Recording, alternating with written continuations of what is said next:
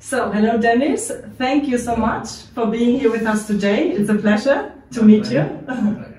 Thank you. So, I would like to ask you some questions about your experience with Immucura.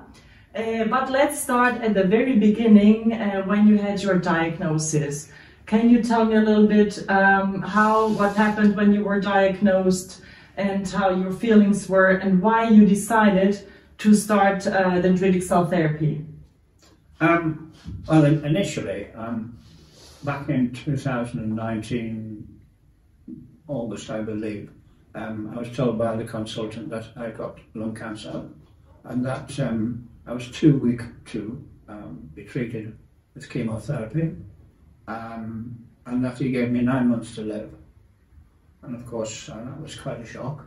Of course. Um, so I, I then uh, looked on the computer to see what else there was, and um, I came across Immucura, and um, I was quite impressed with what I read.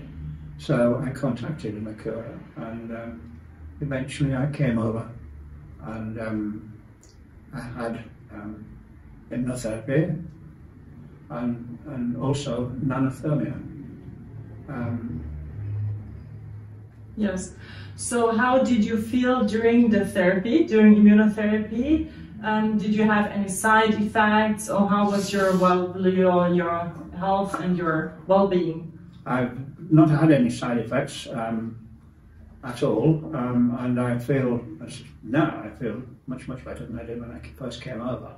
And I, I suppose I did in the past when I came.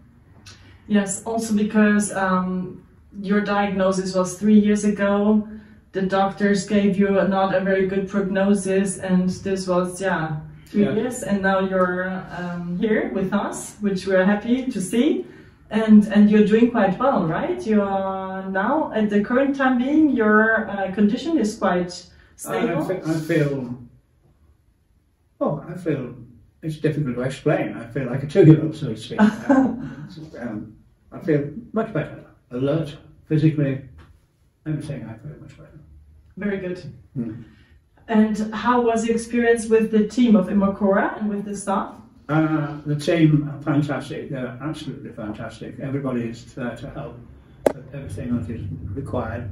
Um, it's just wonderful. Thank you. I can't praise them any Thank you. And uh, what would you recommend to other cancer patients when they get a diagnosis, uh, or would you recommend dendritic cell therapy or nanothermia to them also? I would definitely suggest to anybody uh, who can afford to do it, of course, um, to, to come for um, immunotherapy and, and nanothermia. Um, it's worked for me. I'm still alive after three years, so um, I think that's proof in itself. Very good. Thank you so much. That's, it was a pleasure to speak to you. And yes, let's see then what comes up with the next test. And yeah, we hope that everything goes better and improves. Yes, very good. Thank you very much. Thank you too. Thank you.